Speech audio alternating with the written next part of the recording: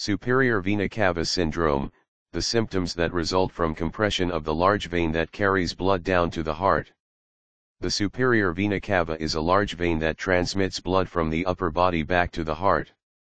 The superior vena cava is located in the middle of the chest and is surrounded by rigid structures and lymph nodes. The structure bordering the superior vena cava include the trachea, aorta, thymus, right bronchus of the lung and pulmonary artery.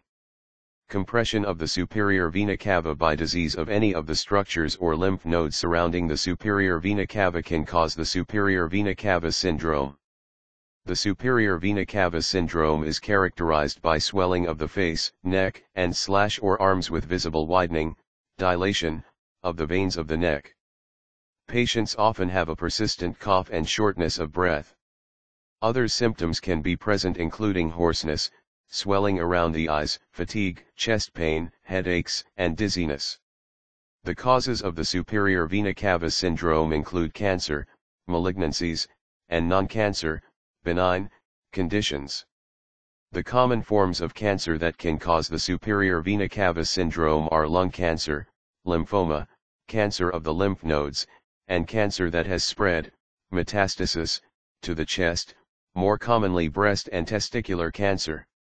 Non-cancer causes of the superior vena cava syndrome include infections, such as tuberculosis, fungus, and syphilis, benign tumors, such as teratomas, thymoma, dermoid cyst, aortic aneurysm, pericarditis, sarcoidosis, irradiation treatment to the chest, air in the chest, pneumothorax, and complication of central line catheters and congenital heart surgery.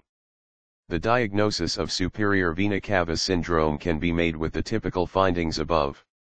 The diagnosis is supported by identifying a cause for the superior vena cava syndrome, typically requiring X-ray imaging or CAT or MRI scanning.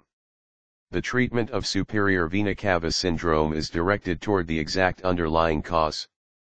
Therefore, treatment might include radiation treatment, antibiotics, chemotherapy, clot busting, thrombolytic, drugs, blood thinners, anticoagulation, and balloon angioplasty, and even surgery.